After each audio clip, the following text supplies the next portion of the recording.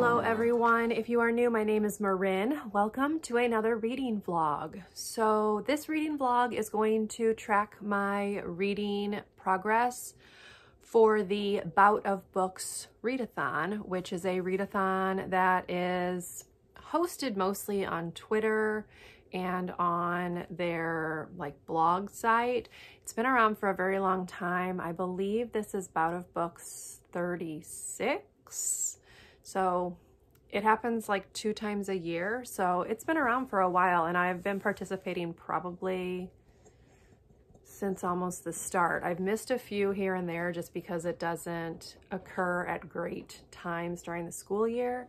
But yeah, so I wanted to go ahead and just talk about the books that I'm going to be working on for the readathon. So one of them is out in the living room and I'm too lazy to go get it. So I'll put the cover right here and that is Invincible by Dawn Metcalf. It is the fourth book in her Twixt series. And then I also started listening to Again Again by E. Lockhart on audio. I am, I believe, on chapter four. This one is very interesting. So this one is basically taking the theory of like the multiverse and applying it to this story. So we have these times when I believe we're like hearing from actual Adelaide, but she basically, um, she repeats like parts of her day conversations with people and things like that. So I'm going to show you a part. I was listening to it, so this is interesting. Okay, so basically we have things like this, and you can tell with the change of the text. I'm going to try to get close. So like here is one scenario that could have happened, but then here's like another scenario that could have happened and it flips through like that. So you have the story moving along and then there's parts of it that repeat in different ways because it's supposed to be, I believe, showing that like things happen differently in different universes, but it's very interesting. It's kind of difficult to follow on audio, although I'm not sure looking at the text now that that would necessarily help. But um, yeah, so I just got to the start of chapter four. I was on, let's see, on page 58. So I'm probably going to just finish reading this chapter just to like give it a clear cut start. It's only like three pages. So I'll probably go ahead and just read that so that I will be on chapter five tomorrow. But this is not a very long book. And because parts of it repeat and are in almost like a prose format, um, it's going to go pretty quick. The audiobook is only like eight hours long and that's on normal speed. So anyway, yes, Invincible is the first book. Again, again is the second book. And I'm thinking I might go ahead and put Brazen, this is Rebel Ladies Who Rock the World, on this TBR as well. So that's what we're going to be doing in this vlog. It is 6.08. I'm hungry, so I'm going to have some dinner.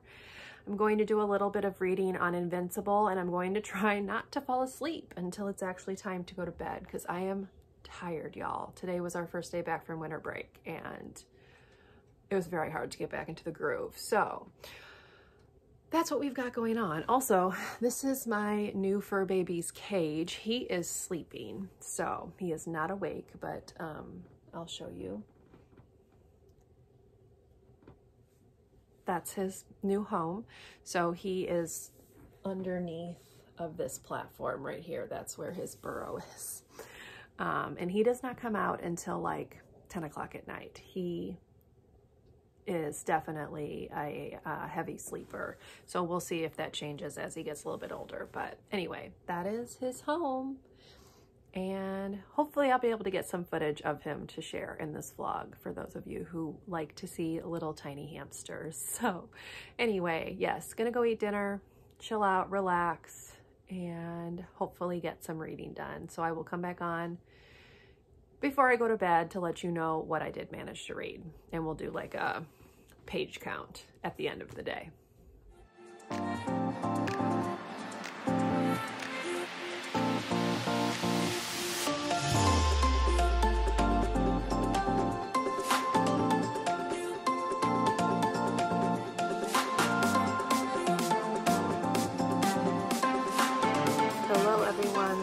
About the bad lighting. I am about ready to crawl into bed here in just a few minutes, but I wanted to go ahead and recap today's reading. So I read 65 pages of Again Again by E. Lockhart, and I managed only 11 pages of Invincible. I was falling asleep while I was reading this one, so I had to stop reading and go do something else. So not bad overall. I am enjoying Again Again. This one was probably the one that I wasn't this mm, as sure about because I've really liked one of her books, really disliked another one of her books. But so far, I am enjoying this, so we'll see where that goes. So that brings me to a total of 76 pages read today, which is pretty good for day one of Bout of Books. I will hopefully be able to make more of a dent in this tomorrow. I'm just tired. so I'm gonna head to bed and I will come back on tomorrow with any reading that I get done.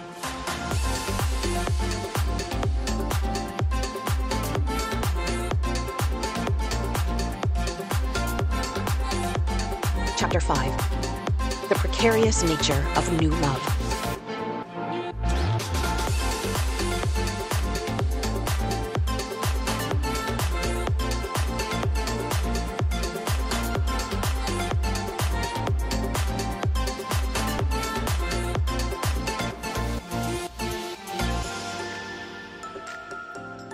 Hello everyone. It is almost 11, so I'm heading to bed here in a couple of minutes, but I wanted to go ahead and do a reading update. So the only thing I did today was listen to more of Again Again, and I'm now on page 128. So that means I listened or read 62 pages today, which is pretty good. I wanted to do a bit more in Invincible, but y'all tired tired. so no physical reading today. I just was too tired to do it. So we'll see how it goes tomorrow. I didn't get any footage for you tonight either, like I said, just tired. So hopefully tomorrow will be better. I will check in with you then.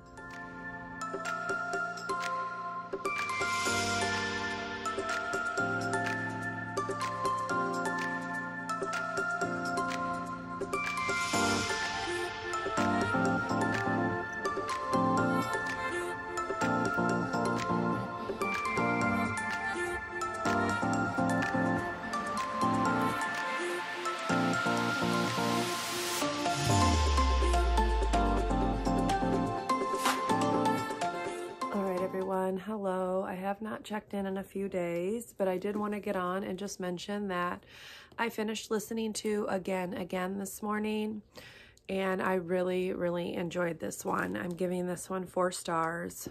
It was sweet, kind of bittersweet, heartbreaking in places, just I thought very well written. It really explores how grief can kind of impact your subsequent relationships and stuff. So in this book, Adelaide, who is our narrator, her brother Toby is a drug addict. And while she doesn't fit, realize what's going on initially, much of how she behaves is a result of her brother's addiction. And basically, this tells the story of one summer when Adelaide meets a guy named Jack and kind of what happens after that point. Um, I really, really liked the depiction of kind of the way Adelaide was dealing with the things that had happened to her and kind of just the way everything came together. Hey, you can see my baby right there. Do you see him? he must have come out when he heard my voice. Anyway, so really, really enjoyed this one. This has very low ratings on Goodreads. It's a 3.19, but if this sounds at all like something you think you would enjoy, I say check it out because I really liked it. A lot of people whose opinions I also typically agree with also really liked it. So don't let the rating scare you away on this one. This one was a winner for me. And this is book two of 2022. Now, I have not done any reading on Invincible, y'all. It is still sitting at the same page that it was sitting on on Monday. So, yeah, that's going to be my goal for the weekend is to finish that book. He's running around. Um, yeah, so I'm going to try to finish that book on over the weekend rather. I'm also going to start listening to the audio of Stars Above, which is a um, compilation of various novellas in the Lunar Chronicles series. And hopefully the weekend will allow me to get a little bit more footage. It's just very hard to film during the week. So I apologize that the beginning part of this vlog has been all over the place. But on that note, now that he's made his um, first formal live YouTube appearance, I'm going to head to bed. Tomorrow it is supposed to be brutally cold, like five degrees without the wind. So it's going to be interesting. And at least after tomorrow, it will be the weekend because I am ready. This has been a very long, very challenging week coming off winter break. So to sign off and I will see you tomorrow.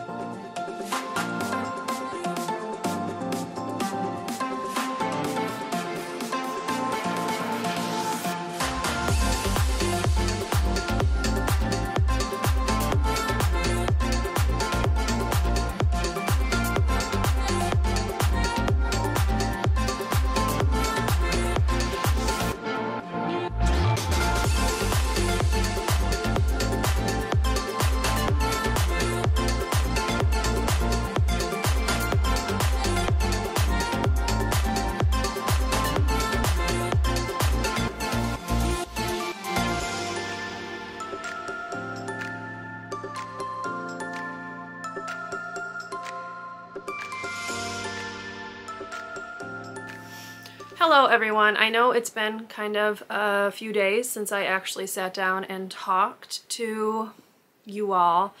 Yesterday, Saturday, I was working on Invincible by Dawn Metcalf and I'm calling this one finished. I got to about page 150 and I just found myself kind of uninterested, but I still wanted to like finish the book. So I wound up doing some skimming, reading portions of it, and then I got to the last 100 pages or so, and I read through to the end. This book, I don't know if it was a case of me being the problem or the book being the problem, but I really liked the first three books in this series. I felt like they were very fast paced and they kept me engaged this one just did not do that. I think part of it might be because the uh, romantic pairing in this book, they were separate for a vast majority of the first part of this book, and I wasn't really enjoying that. Um, part of what drew me to this was that romance, so not having that kind of just really didn't work for me. That being said, I'm giving this three stars. I truly think that this might be a case of me being the problem rather than the story being the problem, but whatever. I've had this book literally since like early November and I just kept putting it off, putting it off. And so I realized that I just needed to get it done and it is done to the best of my ability. So checking this one off. This makes my third book for 2022 and I am very glad to be able to turn this one back into the library. I also started listening to the audio of Stars Above. So this is a collection of novellas that are set in the Lunar Chronicle series. And I am currently on page 121. I did skip one of the stories as I had already read it.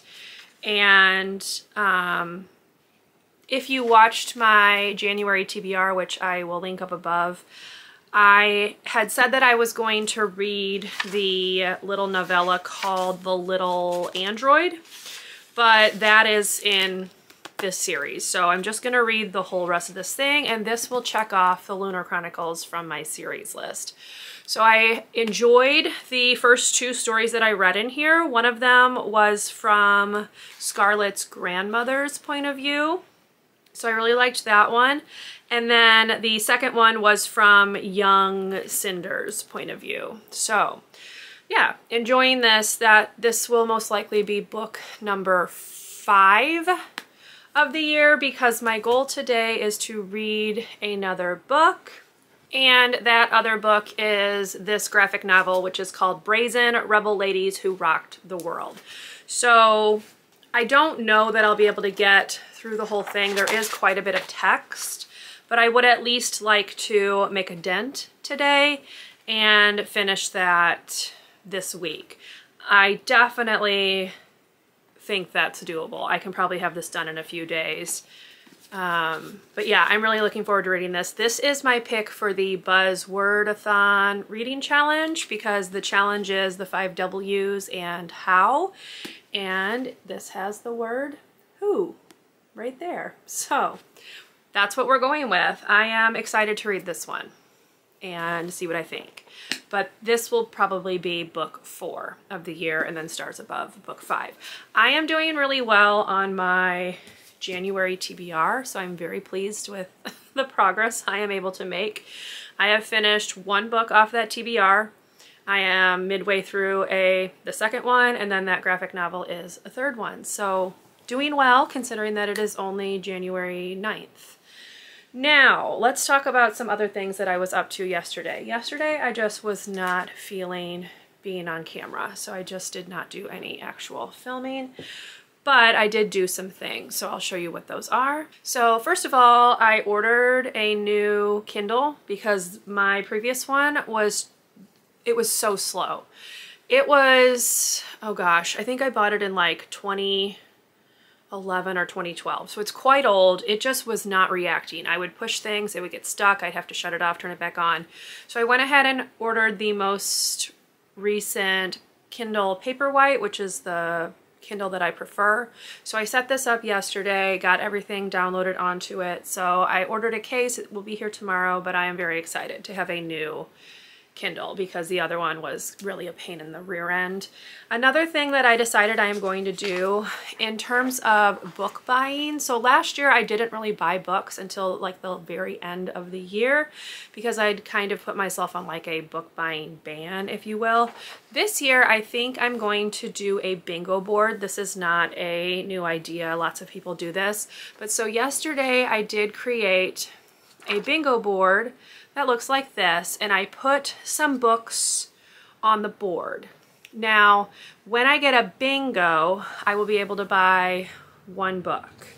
When I fill the whole board up, I will be able to buy more than that, but I haven't quite decided. I'm thinking maybe five five books if I really want to, or I can just call it a book shopping spree where I can go to like a bookstore or an online bookstore and spend up to a certain amount of money. Um, but that's what we're gonna do. So on this bingo board, I have some of my 22 books to read in 2022. I have some of my series books to finish in 2022. And then I added several books that I've purchased recently. So they are new to me books. And yeah, that's kind of what I've done. And I'm excited to see how I do with this. I also just kind of like tracking things. And this will kind of keep me accountable to make sure I'm reading the books that I'm purchasing in a timely fashion because I am typically very bad about that. So we're gonna try a little bit better. A little bit harder to do better rather uh, in that for 2022. So this is how we're gonna start off and I will kind of keep you up to date on how I'm doing with this in subsequent vlogs. So stay tuned for that. The other thing that I did yesterday is I did a bunch of prepping for school.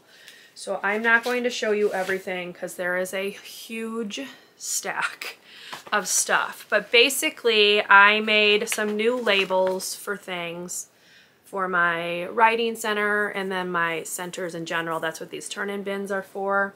I also printed off this alphabet thing. This is from Secret Stories if you are a teacher.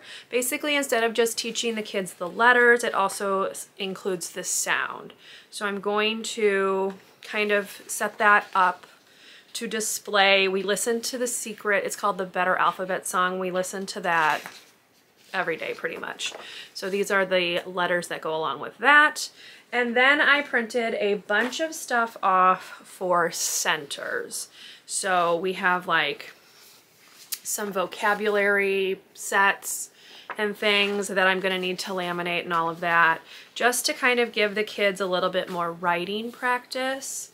And I also printed off several word work type centers. So that's what I was working on um, that I didn't film. um, I am taking this all to school to have them laminated at school. I do need to laminate my students' new name tags though, because I am changing their seats tomorrow and at the start of the new year, I add their last names onto their name tag so that they can learn how to write not just their first name, but also their last name. So that's that. Now, what you saw before I got on here and started talking, you know, forever ago. I did stop at Ulta this morning. I picked up this Peach and Lily vitamin C um, spot treatment. So what is it called? Transparency Pro Spot Treatment. And it's supposed to help with like dark spots and stuff like that. It's having a hard time focusing on that. But yeah, so I picked up that. And then I also picked up this little mini of the Urban Decay All Nighter Face Primer. And I'm curious to see what I think about this. And then as like a free gift, because I spent X amount of money, they gave me this Tula Skincare Brightening Treatment Drops little mini. So that's what I got at Ulta. I also went to Michael's to pick up some more things for my classroom. And then I went to Target where I needed to get some various things. Now, what I'm going to do for the next few minutes or so, I am going to plug in my laminator so I can laminate those name tags. And I am going to update my little reading journal because I have read some books, so I need to go ahead and check those off. And I'm going to set up my planner for the next week.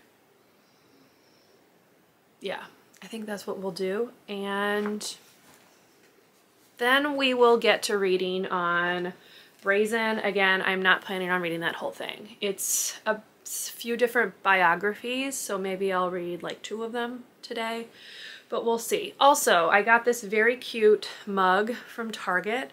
So it has a bunch of different cats and then inside it says cat person. Now I'm technically a hamster person, but they don't make mugs like that.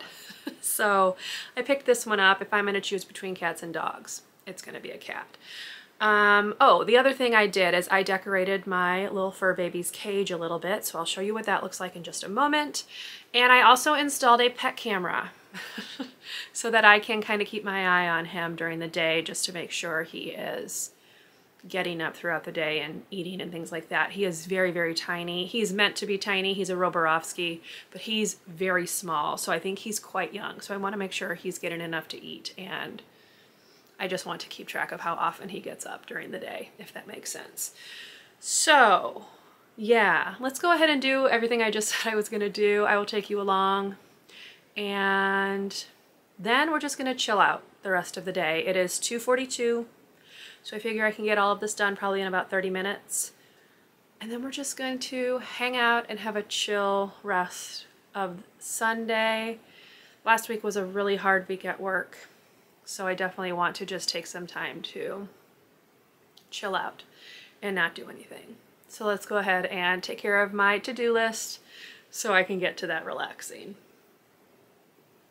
Okay, so here's what I did. I strung these lights along the top here. He really does not like this overhead light on, so I thought I could just string those along so when he's awake, I can just turn those on instead.